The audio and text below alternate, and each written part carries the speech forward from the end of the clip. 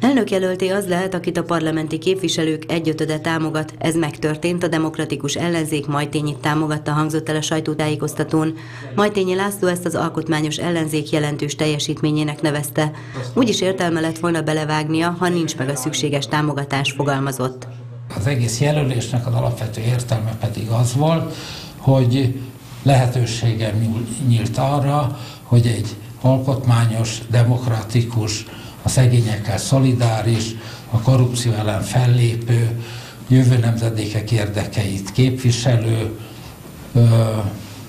és a fenntartható fejlődést zászlajára tűző köztársaságért dolgozhatunk, olyan országot szeretnének, ahol a kormány négy évente leváltható, ahol az állampolgárok független intézmények védelme alatt állnak, és ahol az anyaország mintát tud adni a határon túlélő magyaroknak, mondta Majtényi.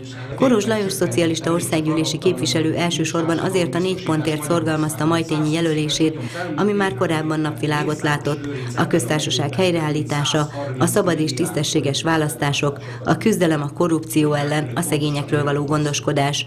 Koros is úgy látja, helyre kell állítani a köztársaságot, új alkotmányra van szükség, amely garantálja a független intézmények működését, rögzíteni kell benne a szociális jogokat is.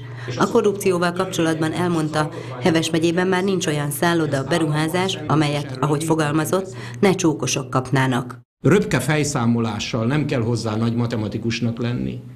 Az elmúlt néhány évben Mészáros Lőrinc ebben a megyében több mint 130 milliárd forintos beruházásokat vitt el. Kolos szerint annak, aki törvénytelenül jutott közbeszerzésekhez, bíróság elé kell állnia. És a